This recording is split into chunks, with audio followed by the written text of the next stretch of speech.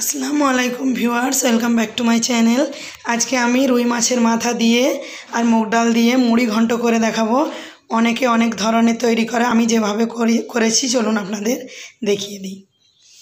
এখানে আমি রুই মাছের মাথাকে ভেজে নিয়েছি দু পিস আর আমার লাগবে, যেগুলো দেখিয়ে দিই, মুগ ডাল। আলু ছোট করে কেটে নিয়েছি, পেঁয়াজ নিয়ে নিয়েছি এখানে গোটা জিরে, তেজপাতা, দুটো শুকনো লঙ্কা, আর দারচিনি, এলাচ, আর লবঙ্গ দু পিস করে নিয়ে নিয়েছি। আদা বাটা নিয়ে নিয়েছি, আর ঘি লাগবে। এখানে আমি একটা কড়া ছড়িয়ে দিয়ে এতে ঘি গরম করতে দিয়ে দিয়েছি। আমি মুগ ডালগুলো ভেজে নেব। মুগ ডালগুলো আস্তে আস্তে দিয়ে দিচ্ছি ঘিয়ের মধ্যে। ভালো করে নেড়ে চেড়ে মুগ ডালগুলো ভেজে নেব।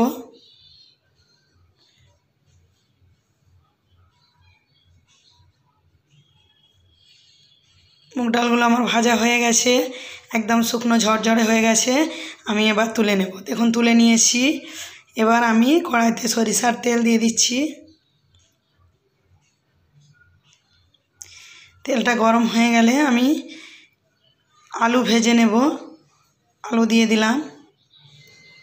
আলুটা আমি ভেজে তুলে নেব।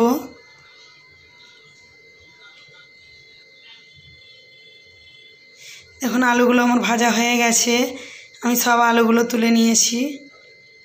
এবার ওই তেলেই আমি গোটা জিরে, তেজপাতা, শুকনো লঙ্কা আর এলাচ, দারচিনি, লবঙ্গ দিয়ে দেব।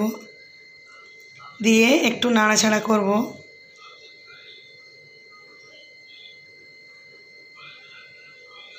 একটু নাড়াচাড়া করে নিচ্ছি। এবার এর মধ্যে আমি পেঁয়াজ দিয়ে দেব। পেঁয়াজগুলো দিয়ে আমি হালকা ব্রাউন করে নেব।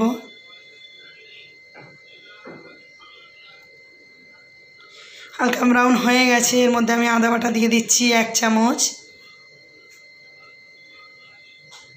এবার দেব নুন এক চামচ পরিমাণ। হলুদ গুঁড়ো এক চামচ পরিমাণ। দিয়ে দেব।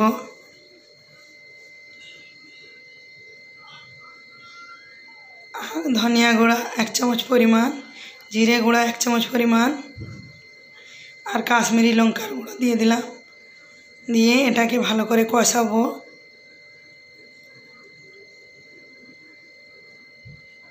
দেখুন, ভালো করে কষানো হয়ে গেছে। তেল ছেড়ে দিয়েছে মশলাটা। এবার এর মধ্যে আমি মুগ ডালগুলো ঢেলে দিলাম। দিয়ে আমি কিছুক্ষণ কষাবো। ভালো করে মশলার সঙ্গে মিক্স করে নিচ্ছি। আলুগুলোও দিয়ে দিয়ে একটু নাড়াচাড়া করব ভালো করে। ভালো করে মিক্স করে নিয়েছি, দেখুন। এবার আমি এতে পানি দিয়ে দিচ্ছি ঝোলের জন্য।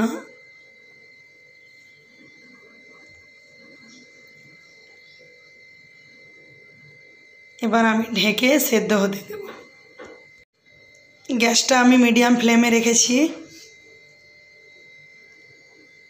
এবার আমি ঢাকনাটা খুলে নিচ্ছি, দেখুন। এখানে ডালটা আমার সেদ্ধ হয়ে গেছে, একদম গলে গেছে ডাল।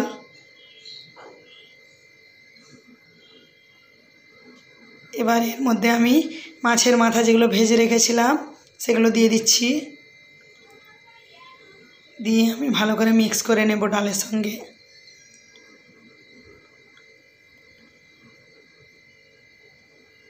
ডালটা আমার রেডি হয়ে গেছে। আমি এবার আপনাদেরকে কিছু মশলা দিয়ে দেখিয়ে দিচ্ছি। গরম মশলা দিয়ে একটু নাড়াচাড়া করে নিচ্ছি। নিয়ে আমি এবার সার্ভ করে দেখাবো আপনাদেরকে। দেখুন, আমার তৈরি হয়ে গেছে মুগ ডালটা। মুড়ি ঘন্ট এভাবে আপনারা অবশ্যই বাড়িতে বানাবেন। আর রেসিপিটি আমার ভালো লাগলে লাইক করবেন সাবস্ক্রাইব করবেন। আর পাশে থাকা ছোট্ট বেল বাটনটি ক্লিক করবেন। আল্লাহ হাফেজ।